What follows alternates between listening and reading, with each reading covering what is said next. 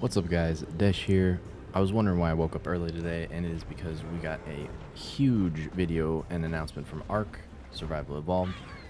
Looks like we have a release date for Lost Island, the three new creatures thoroughly confirmed, and a nice look at kind of what they do in use, and Fjordur, Fjord, Jord, Jordur, however you say the new map's name, it's coming next year. We get two free DLC maps that were once modded maps coming to Ark Survival Evolved in the midst of this time while they're working on Ark 2.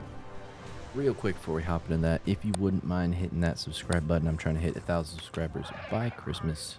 Look at the graph, hit the button, whatever I'm supposed to do here. Let's take a look at these new dinos. So for release dates, we have the Fjordur. map coming in June of next year, and Lost Island, which has these new dinos, coming in December 14th of this year. So just about a month and a week, five weeks away. Now for dinos, we have the Amargasaurus, or the uh, hot and cold spiky boy. We have the Dinopithecus, also known as Giant Monkey version 69. Then we have Flying Backpack Boy, or the Sinomacrops. Now we're going to start off with this beautiful backpack boy, because he's going to be the biggest change, I think, to the game. Not only is he a glider, seemingly a bit of a jetpack, and a backpack, he can just carry tons of stuff. He's also a direct counter, it seems, obviously not confirmed, to the Noglin. Now this guy's wings, he has this ability as you'll see here. Uh, I'm using it on a Hyaenodon. It can stun things. It seems to be smaller dinos, obviously. Uh, probably can't stun a Giga with this. If you could, that'd be hilarious, but hey. Uh, seems to be smaller dinos, but it's a Hyaenodon right there, so who knows how small we're talking. So yeah, this I expect to be a direct counter to Noglins, and obviously you could fly. It's like having a tech jetpack, but it's a bird on your back.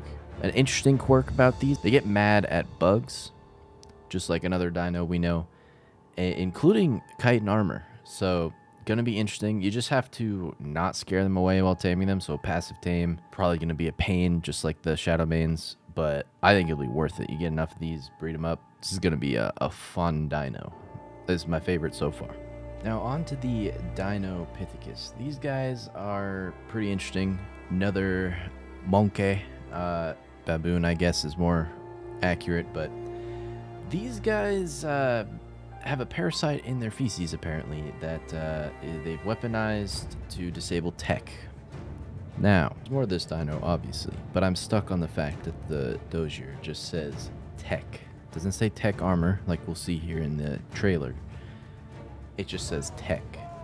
It also says that you can fling fecal projectiles, grenades, or a combination that they like to call EBM, explosive bowel movement. Sorry anybody with bowel issues.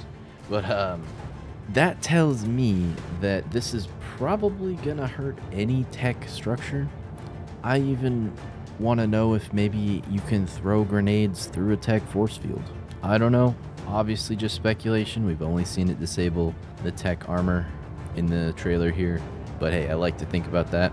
Other things are this guy won't have a saddle, just carries you with its tail, I guess. It also is a pack animal that you seem to be able to target with potentially a boosted war cry. It almost seems, as many others have speculated, that you might be able to get assistance from wild ones after you've tamed some of them. But as far as we know right now, it's just a pack dino. Now, last but not least, the Amargasaurus. Hot cold spiky boy. Coming in as a cross between your favorite soakers that doesn't soak. This angry Diplo is going through its spiky phase, and it can harvest sap. Oh yeah, it also has enough emotion to both freeze your enemies with its thermonuclear spines and launch flaming chaos upon your enemies, all while disabling tech at the same exact time.